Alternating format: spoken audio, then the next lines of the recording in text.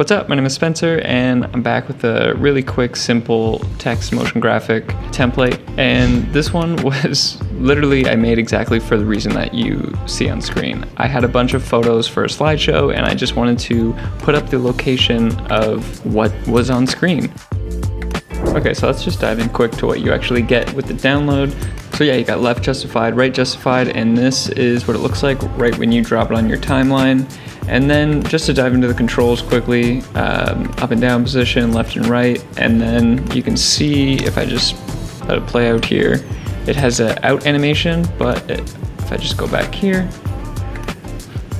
but if you don't want that, just turn off slide out and it'll just uh, have no out animation, just kind of hang out. Another reason why I made it in After Effects is just so I could uh, have the block just adjust itself, you know, instead of having to fiddle around um, in Premiere.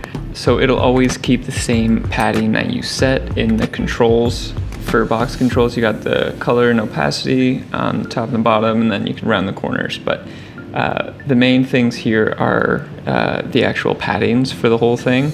And of course you can adjust the rest of the padding to get the look that you actually want. So that's it, super simple, it's super basic, it's in a 1080 comp, so just be mindful of that when working in 4K, just resize it. But yeah, I just wanted something quick and easy and that has a nice animation to it um, because the default Premiere tool just, it isn't there for me yet. Um, or maybe I just don't know how to use it as well as uh, making something so simple in After Effects. So yeah, keep that in your back pocket if you ever need it for one of your projects. All right, see you in the next one. Peace.